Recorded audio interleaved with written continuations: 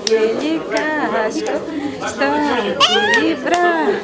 Стас Шкельняк – веселый и активный ребенок. Радоваться есть чему. У него молодая красивая мама и брат-двойняшка. А два года назад эти ребята из Екатеринославки заставили всех поволноваться. Родились семимесячными. Теперь невзгоды позади. Развлекают маму кто как может. Ну, они абсолютно разные, как по характеру, так и по внешности. Стас у нас Шкода активный, который везде лезет, все делает. Шебуршит. Андрей спокойный, тихий.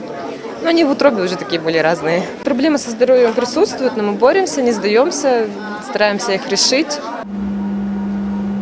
Анна и Алексей сегодня рядом с крошечной Василисой. Впрочем, как и в любой другой день. Дочь родилась весом меньше килограмма. Вчера ей исполнился месяц. Родители ждут не дождутся, чтобы забрать девочку домой. А пока врачи в шутку называют молодую маму самым преданным посетителем. Просто я настолько волнуюсь за своего ребенка. Ну, хочу быть рядом, хочу быть в помощь ей, хочу, чтобы она знала, что мама рядом. И медсестры, медперсонал, которые девочки, они тоже здесь сутками за нашими лялечками следят. То есть любой аппарат запикал, медсестры тут же смотрят. Отделение реанимации для новорожденных рассчитано на 12 недоношенных малышей. В аккурат к празднику большинство кувезов опустели. Врачи довольны.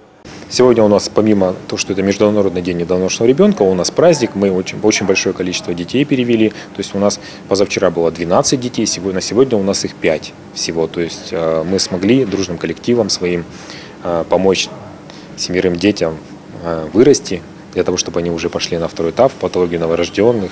Кристина Каширина, Денис Лугов. Программа «Город».